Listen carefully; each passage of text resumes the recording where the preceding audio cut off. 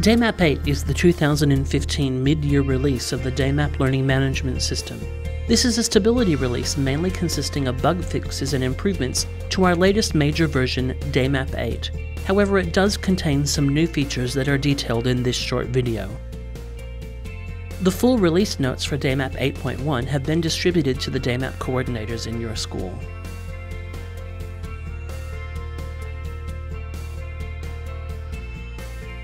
Our useful alerts can still be viewed on the day plan, but we have now added an alert center that allows you to view and manage your alerts in full screen mode. Tick the box to dismiss an alert. Click View All Alerts to see your full set of alerts, including dismissed alerts.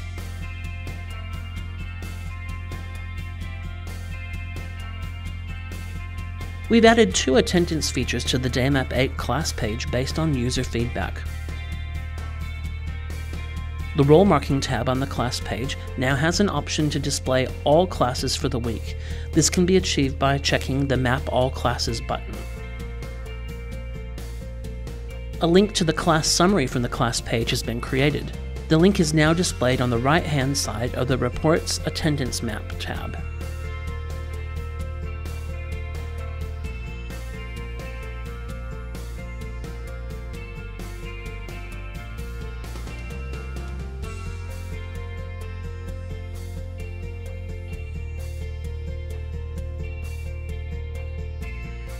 In the DayMap Student Summary, we've added two features to enhance experience and make student profiles easier to manage.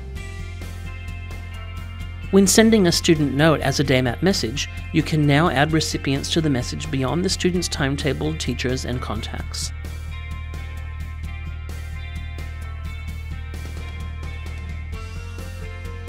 In the Attachments tab of the Student Summary, a Sort By drop-down list has been added with options of Newest First, Oldest First, and Name to make it easy to manage student attachments as they accumulate over time.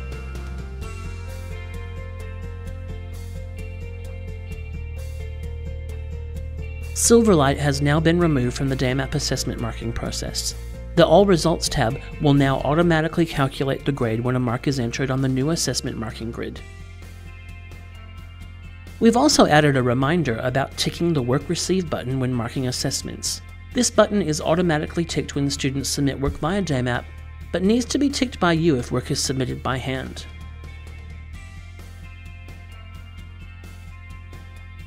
As a tip, if you're not collecting student work for a task, you can switch off notifications about overdue or unsubmitted work to students and parents by removing the tick from Track Students Submitting Work in the Assessment Task Details.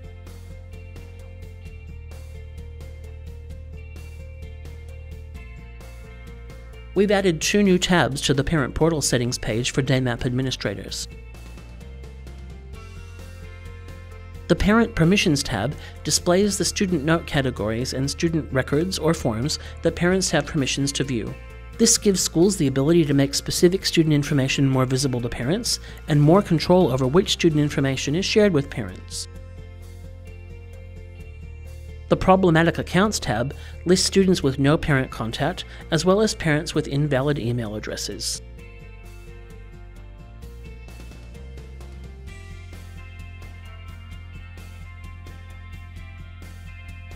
Users are now directed to a new, more pleasant looking error page, which also logs the error into the database so that the support team can retrieve its details. If you do reach the error page, you can copy the error message to send to your DayMap coordinator, who can send it to DayMap support if required. We're looking forward to your feedback on these new features, and always welcome feature requests, which you can submit by emailing support at daymap.net.